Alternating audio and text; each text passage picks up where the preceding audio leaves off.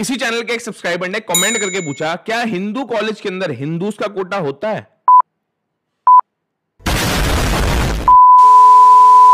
देखो, जितने भी सीयूटी एस्पिरेंट्स हैं, आपको पता होना चाहिए, कोई भी कम्युनिटी बेस्ड कोटा होता नहीं है दिल्ली यूनिवर्सिटी के अंदर। हिंदू कॉलेज 124 साल पुराना कॉलेज है 1899 में स्टैब्लिश हुआ था।